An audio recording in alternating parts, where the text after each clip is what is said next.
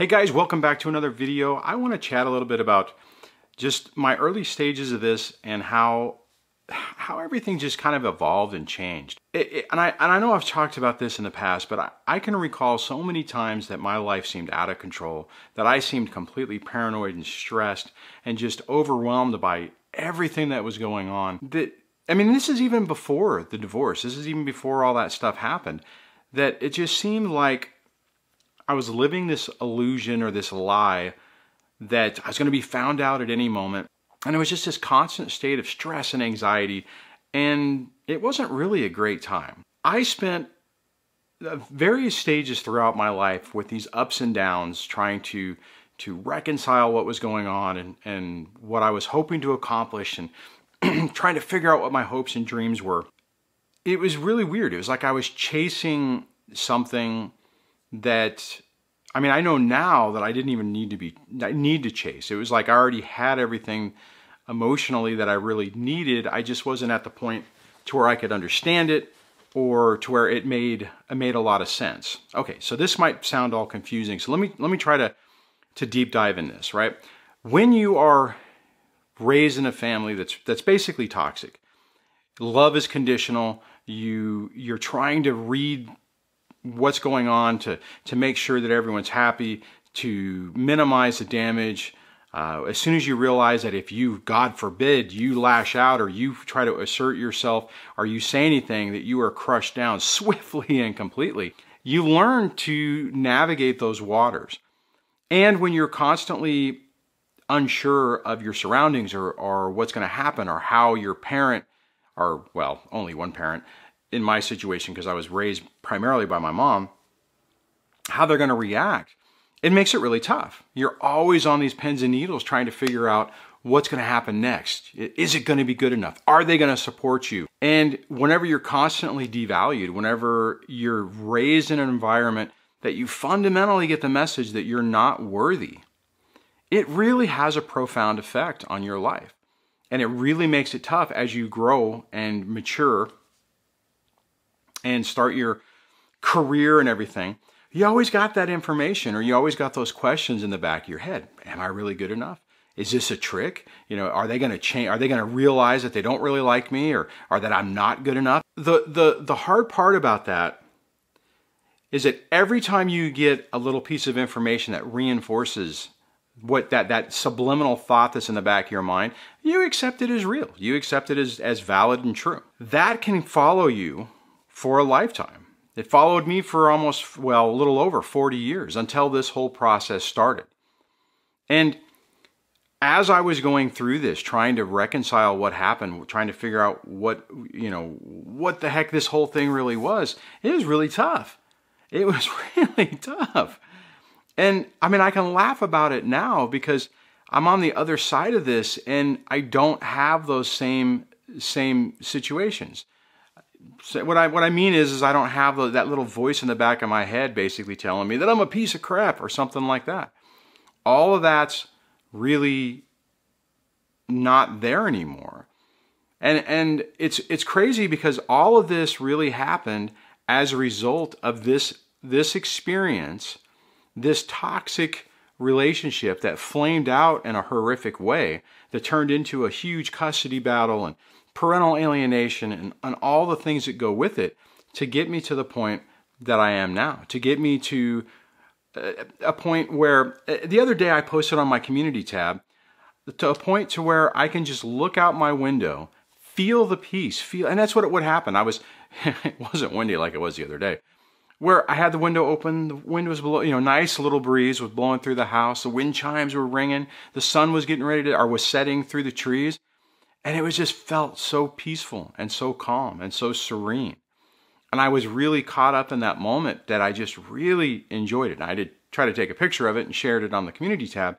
But I remember a time where I didn't even have the capacity to slow down enough to enjoy the moment. I was felt like I was constantly in this running running gun battle. I've used that analogy before to where I just wasn't able to to appreciate anything. I always felt like I was in a sense of loss. I always felt like there was another shoe or another another hammer that was getting ready to drop. And when you're living like that, it really it really wears you down and it really corrupts everything about your life.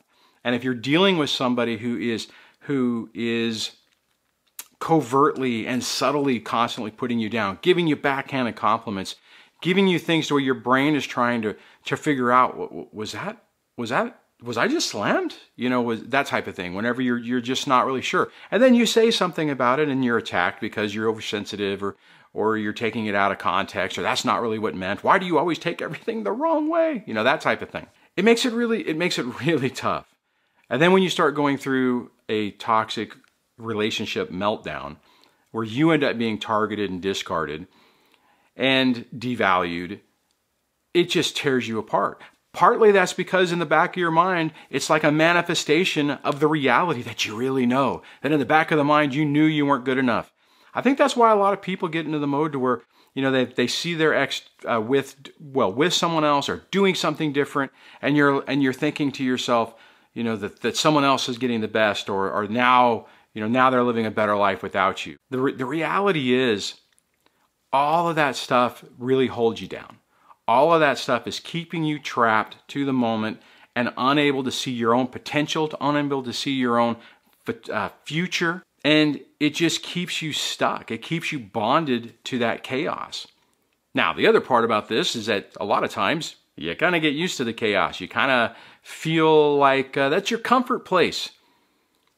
Makes it real easy to stay in those situations. It makes it really tough to leave. And it makes it whenever you're out and you have peace, it can really freak you out because it doesn't feel right. What do you mean there's no chaos going on? I need to add chaos. I need to add something into my life to make it a little more complicated. That's how people can end up in, in new bad relationships or put themselves in situations that, that really aren't healthy for them that just kind of perpetuate this. One of the gifts that we get out of this, and it's hard to say gift because I know a lot of people, especially in the beginning parts of this, does not feel like there's anything positive about this. But the reality is, one of the gifts that happens out of this is you start to reevaluate your life, your past, everything that's happened to you, and your future. You start to realize that maybe the story that you've told about yourself in your own mind and maybe what other people have said about you isn't really true. And the really cool part about it, really cool part about it is it doesn't matter if it was true. You actually have the opportunity to take a pause and say, you know what? I want to change my life. I want to do something different. I don't want to go down this way anymore. I don't want to be that person anymore. I want to be different. I want to be a better person. I want to be more enlightened. I want to be happy and to be able to find peace, to be able just to find joy in life. You can choose to do that. And that's one of the missions that I've been on, I guess I, if you call it that, for, for the last eight years, this whole thing, is to find the life that I really wanted. Find the, the location, find that dream in my head, find that, that uh, not fantasy, but the ideal that I had and make it a reality. Not make it a fantasy, not make it something to where you know, I'm going to pretend that this is actually better than it is and, and these things aren't happening, but to actually find it and that, and that's really the, the amazing part about this is you get to break free from this. You get to eliminate the tox, toxic crap out of your life. It's not easy. I'm not saying it's easy. It, it, it, takes a lot of work. And if you're dealing with kids and all the other stuff that happens with that, it, it adds a whole other layer of complexity. But it still, it still is attainable it still is something that you can achieve. It's not something that's like, you know, oh, that's a different lifetime. I can't ever accomplish it. That's not true. You absolutely can. These situations afford us the opportunity to be able to do that. No, it sounds kind of weird. No, it's not really, you know, it's like, really, you know, this is what I have to go through to get to that. But it, it really is. It really is. It's it's like I said, it takes a lot of work, right? I mean, to break those trauma bonds and to break that subliminal programming that you may have had a lifetime to get to is achievable. And you just have to have a little bit of faith and a little bit of hope that it's that there is a potential for that out there and then slowly work your way towards it take the little steps, the little baby steps, if you want to call them that, to get to where you're you're building on successes. You maybe you start here, then you build a little up, and you build a little up, and you build a little up, build a little up, and then before you know it, you're at the you're closer to the life that you always dreamt of. So I would love to hear what you think about this. I know I, I know from looking at comments and, and chatting with people that there's a lot of people out there who, who absolutely understand this. If you're struggling with this, I want to my question for you is do you think or do you believe yet that there is a possibility for that or does it still seem like it's so impossible and out of reach? Leave that in the comments below and I will catch you on the next video. Take care.